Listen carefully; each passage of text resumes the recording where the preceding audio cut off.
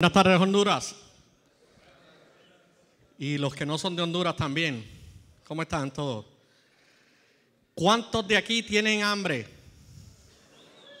No se preocupen que mi presentación va a ser no más larga de tres horas, así que ya mismo nos vamos a almorzar.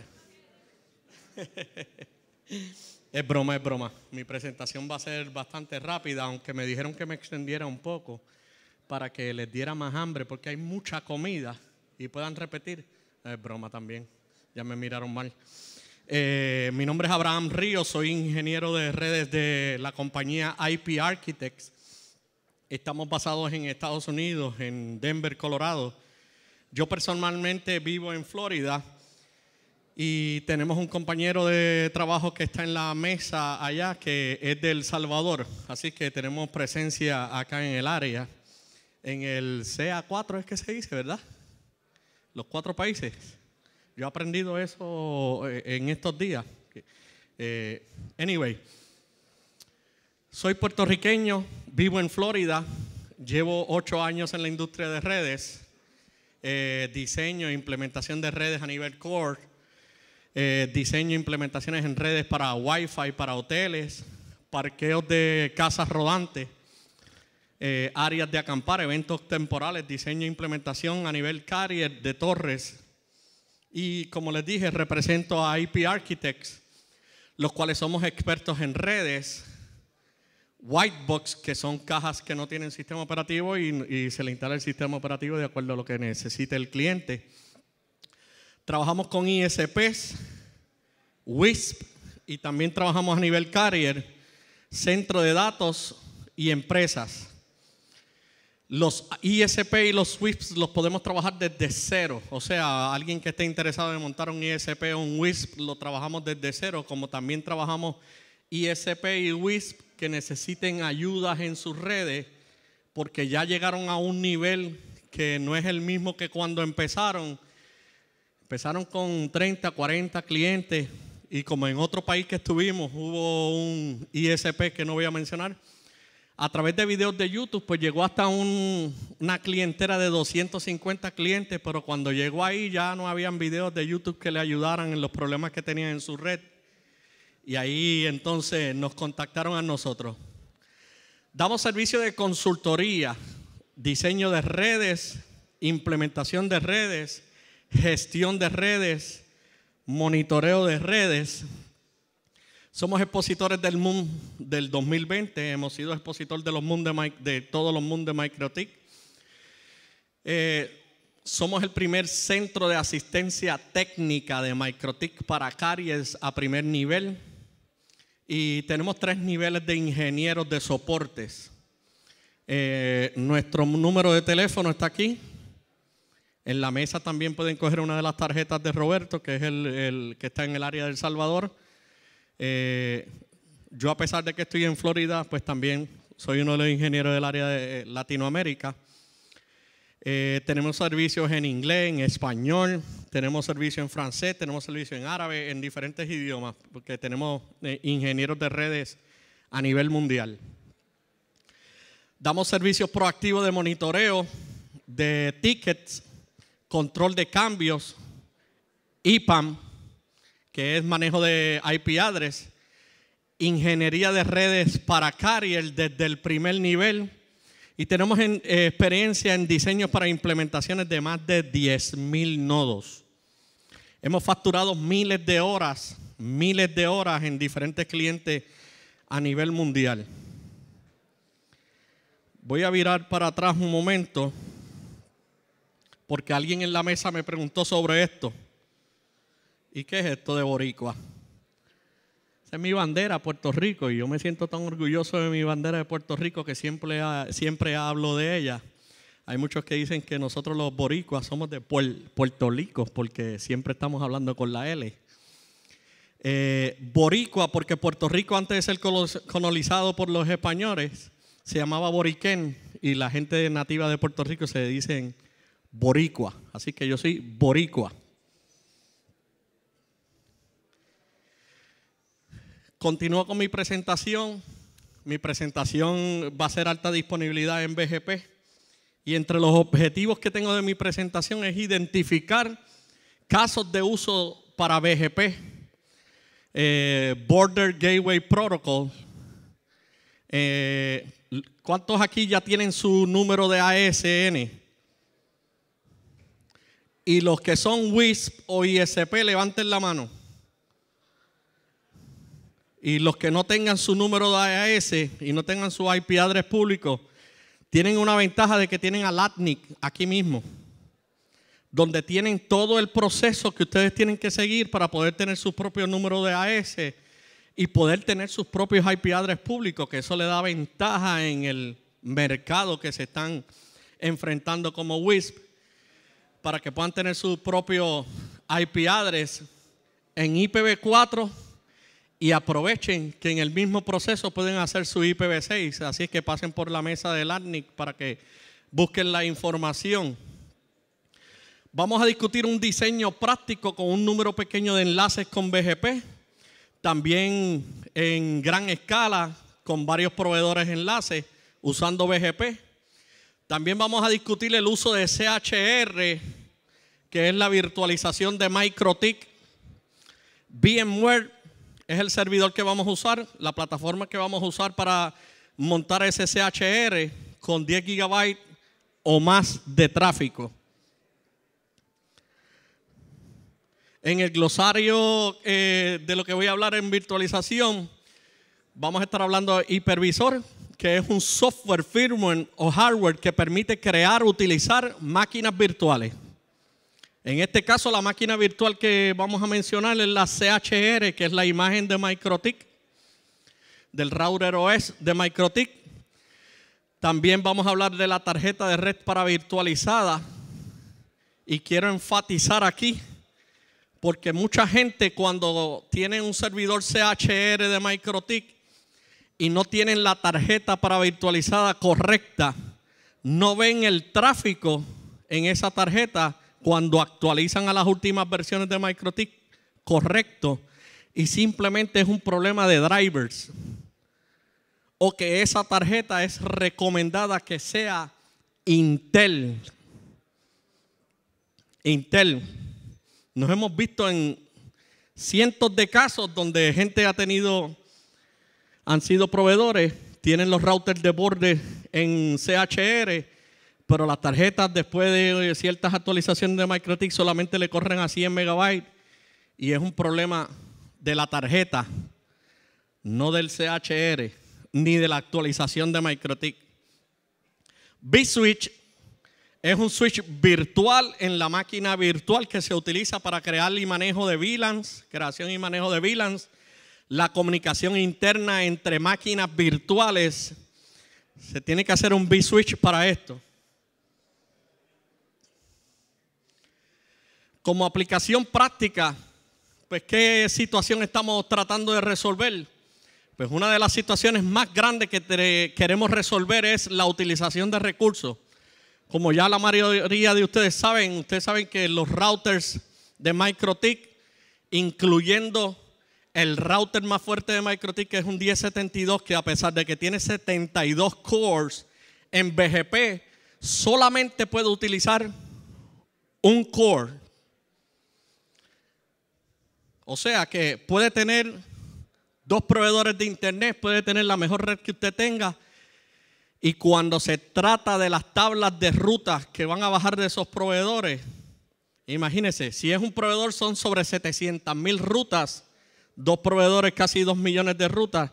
Ese router ahí es donde usted empieza a sentir que se sienta porque está manejando todas esas rutas con un, solamente, con un solo core. Entonces ahí es donde entramos en que podemos utilizar el CHR porque corre con un mejor procesador desde un servidor virtual y su uso es más eficiente en ese único core. Ahora, un secreto entre nosotros, dice MikroTik y los que hemos probado la primera versión beta que salió 7, que se podrán utilizar, y ya yo lo vi, más cores en los BGP para poder utilizar routers físicos. Eh, dicen ellos que posiblemente, vamos a hablar bajito, dicen ellos que posiblemente salga en el Moon de Estados Unidos. Pero llevan años diciendo eso. Vamos a ver si ahí sale, porque ya mencionaron el sitio. No dijeron pronto. Veremos a ver. Otra de las situaciones que queremos resolver es la escalabilidad. Si es necesario crecer en capacidad de procesamiento, se puede instalar tantos routers virtuales como sea necesario. Entonces, si eso nos da el CHR y la virtualización, la escalabilidad, ¿qué estamos reduciendo también? El costo. ¿Por qué? Porque ya tenemos los servidores, ya tenemos el equipo para esas virtualizaciones, simplemente podemos escalar virtualmente y la compra de equipos físicos no es tan seguido como escalando por equipos y solamente se escalaría para el BGP, que se desperdiciarían recursos en un router físico. Actualmente, si simplemente compras router para poner diferentes routers para sus diferentes proveedores y escalar en BGP, entonces se encuentra en la situación gastando mucho dinero en router físico. En estos momentos le presento un, un diagrama de una red donde tenemos un proveedor, un proveedor, qué enredo, entre inglés y español y, el puertorriqueño, imagínense. Un proveedor, Europa, Amsterdam y Norteamérica, New York. Eh, esta tabla es cortesía de uno de los arquitectos de, de IP Architect que tenemos que dentro de un rato le voy a mostrar el site blog que él tiene, donde ahí pueden conseguir muchos recursos. Aquí, como podemos ver, tenemos un router BGP recibiendo las rutas de Ámsterdam. Tenemos un router BGP recibiendo las rutas de Nueva York con dos CCR 1036. Entonces, el router de BGP del proveedor, PE, que es proveedor entonces lo utilizamos en CHR virtualizado con una máquina ESXi en un servidor ProLiant Hewlett Packard. Puede usar la, marca que ustedes quieran. Y tenemos como core un CR1072 para agregar el tráfico hacia los clientes.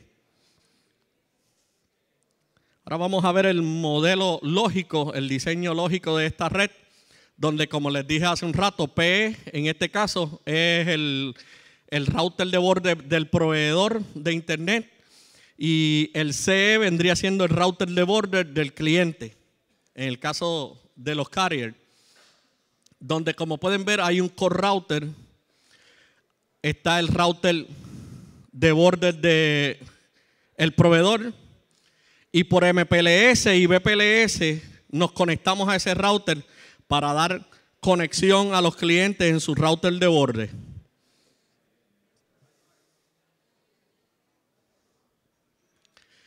Utilizamos en este caso BPLS para proveer conectividad en capa 2 para el tráfico. Entonces, ¿por qué muchos de los proveedores publican su tabla completa? Lo vamos a ver. ¿Por qué no publicarla en este caso que yo les estoy hablando? Pues mira, ¿Por qué no publicarla? Porque la utilización de recursos, la memoria del router se afecta con el tamaño en que la tabla puede tener. Y hago una pausa ahí. Si actualmente los routers de MikroTik utilizan un solo core para su, funcionamiento o sus procesos, a pesar de que tengan varios cores, ¿qué pasa? De que cuando uno de esos cores se va al 100% y se afecta, ¿qué usted cree que pasa con los otros? Imagínese, haga la cuenta. Si su internet que está llegando a sus routers de borde se afecta al 100%, su conectividad de ahí en adelante se va a, hacer, va a ser afectada hacia sus clientes. Por esa misma razón, el rendimiento y la convergencia es mucho más lenta que una máquina virtual dedicada. También otra cosa que queremos observar es la seguridad, porque podemos hacer aislamiento se permite segregar el tráfico completamente a nivel de la red de transporte sin revelar el MPLS core. También le permite el aislamiento de más clientes utilizando VLANs. En vez de tener una red flat, bridge, utilizando VLANs. Y para los que no están muy diestros con el BPLS, MPLS, pueden usar como alternativa EOIP, que la última presentación de hoy les va a hablar de, de EOIP, que es un otro túnel eh, alternativo al MPLS, si no está disponible también. Como podemos ver, el enlace de Europa a Ámsterdam, y como les había, hablado, que aquí pueden apuntar ese blog, que a pesar de que está en inglés, tiene mucha información. StopArea51.com tiene mucha información, tiene muchas, eh, muchas cosas que les pueden ayudar, muchos protocolos, muchos diseños, muchos eh, arreglos que hemos hecho. El proveedor Europa Amsterdam en el router de BGP está transmitiendo 300 mil rutas. 300 mil rutas. El de Nueva York está transmitiendo 676 mil rutas. Saquen la cuenta, esos dos proveedores, esas dos rutas, llegando a su router. Entonces, la máquina virtual PE, BGP, el router PE toma la tabla completa de cada enlace y si toma la tabla completa, ustedes hagan la cuenta. 676 mil rutas ahí y 300 mil rutas son aproximadamente 8, 900, eh, casi un millón de rutas. Casi un millón de rutas. Entonces, el router CE, que vendría siendo el router de borde del cliente, recibe la tabla entera entre los dos enlaces de pública y solamente carga por la red 400 mil rutas al router de borde del cliente. En este modelo, ¿qué pasa? Router core y el número de rutas, como pueden ver, el router core del cliente, el de borde del cliente recibe más de 400 mil rutas. La red core solo recibe una tabla pequeña que mejora la velocidad de convergencia en el rendimiento recibiendo una red core solamente 14, 14 rutas para transportar más de 400 mil. O sea que la eficiencia de su router, ese CPU, va a estar como gracias, va a estar agradeciéndole a usted esa configuración. ¿Cómo podemos escalar con BGP? Pues mire, podemos agregar más peerings, dependiendo del hardware que se pueda agregar, de 5 a 10 tablas de peering por cada router virtual de proveedor. Agregar más router de proveedor en el borde, eso permite más peer de tránsito por cliente. Y cada router debe conectarse a los dos routers de borde de los proveedores que le dan. También podemos hacer route reflection que se utiliza para alimentar varios routers de proveedor, de borde de proveedor. Route, route reflection. Entonces, escalando, aquí damos el ejemplo escalando. Primero en la primera gráfica presentamos que tenía teníamos solamente un router, el P1. El router de borde de proveedor 1. Añadimos un route reflector añadimos el router de borde de proveedor 2 y el 3, donde el core hace la ruta hacia los agregadores, donde recibe de Europa y de New York entre los dos. Estos routers de aquí reciben todas las rutas, que dijimos que eran aproximadamente un millón, dándole a cada uno de estos clientes al final simplemente 14 rutas 14 rutas para salir sobre 400 mil rutas. Pero su core tiene que estar preparado para eso, para soportar que esos clientes puedan hacer eso. Aquí vemos el, diseño lógico de lo que acabamos de explicar, donde siguen los mismos proveedores, el core, el raw reflector, y entonces aquí está el P1 el P2, el P3. Entonces aquí tenemos varios clientes recibiendo, divididos por cada uno de sus VLAN. y en BPLS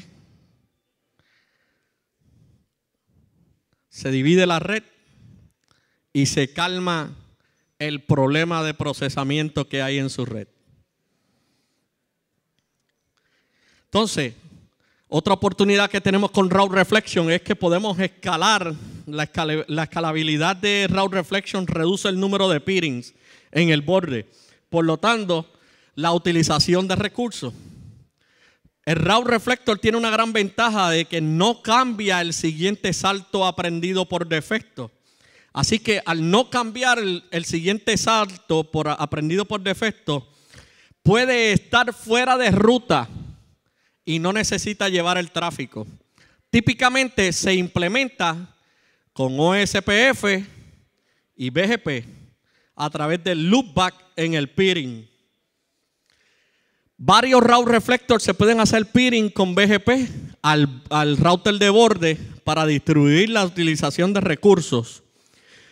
Y en este caso le permitiría a un CSR poder transmitir el millón de rutas que hablamos anteriormente a clientes con RAW Reflector en menos de dos minutos. En menos de dos minutos. O sea, a veces nos preguntamos, tenemos clientes que llaman, ay, ¿por qué esta página está lenta? Este otro está mi internet está lento. Mire, su internet no está lento. Es que la conversión de rutas en el router del proveedor está teniendo el problema para llegar al producto final que quiere llegar a ese cliente. Entonces, aquí les quiero mostrar algo que los que son de Cisco aquí me perdonan, pero esto es una realidad que quiero mostrar. La escalabilidad con RAW Reflection en, CHR o BGP en CHR es altamente grande. El Cisco ASR 1000 tiene todo un menú de licenciamiento muy que caro para operadores. El MikroTik CHR tiene un potencial mayor con una fracción de costo. Con una fracción de costo. Por ejemplo, en MikroTik CHR, virtualizando con MikroTik y virtualizando con Cisco, el throughput 10 gigabytes o más. Cisco limitado a 10 gigabytes. El throughput de MPLS en MikroTik CHR 10 gigabytes o más. En Cisco solamente 5 gigabytes. La licencia de IPsec en MikroTik CHR está incluida. En Cisco vale aproximadamente 6.500 dólares extra a lo que le cuesta la licencia de la virtualización. La licencia para firewall en MikroTik está incluida. La licencia de firewall en Cisco cuesta aproximadamente 3 mil dólares. No sé si los que tienen las calculadoras ya están sacando cuenta. La licencia de MikroTik llega de 1 gigabyte, 10 gigabytes hasta ilimitada. En Cisco se limita a un gigabyte, 5 gigabytes, hasta 10 gigabytes. De ahí no hay más nada. El costo, 250 dólares. El CHR, la, la virtualización de MikroTik, ilimitada. En Cisco te cuesta 30 mil dólares por 10 gigabytes y tienes que incluir el servicio avanzado de Cisco para que ese licenciamiento funcione bien. Y si ahí le añades el que quieres que incluya Firewall, vamos a añadirle 3 mil más, ya van 33 mil dólares. Y si necesitas hacer túneles de IPsec para algunos clientes corporativos que tenga, añade de 6.500 dólares más.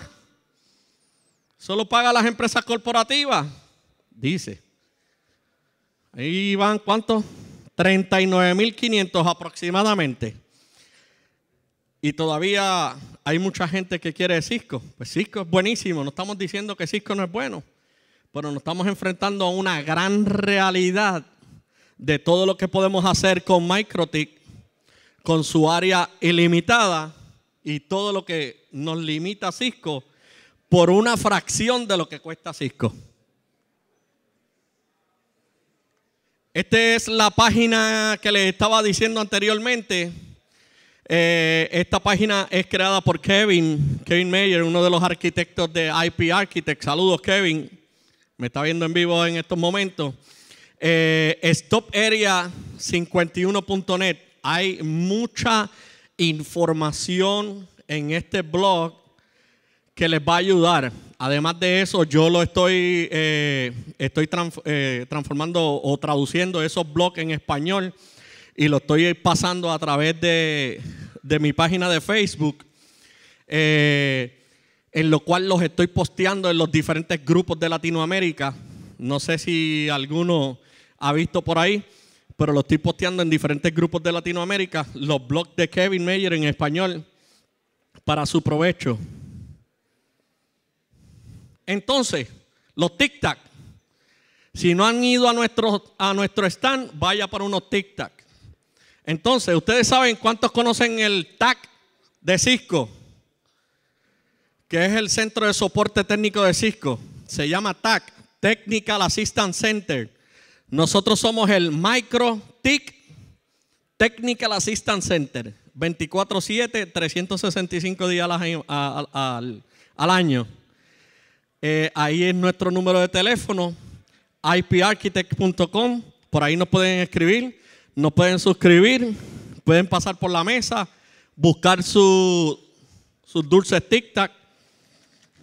Los que no los tengan, los que los tengan, no, no cojan más, que eso le, puede subir el azúcar. Me los dejan a mí. Que... Entonces, si hay alguna pregunta, este es el momento de pregunta. ¿Alguien tiene alguna pregunta? ¿No?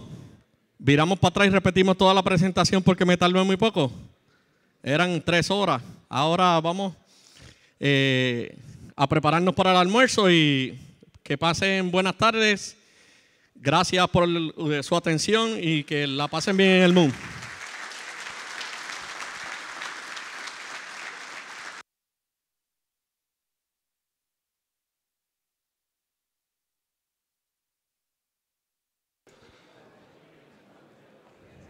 Bueno.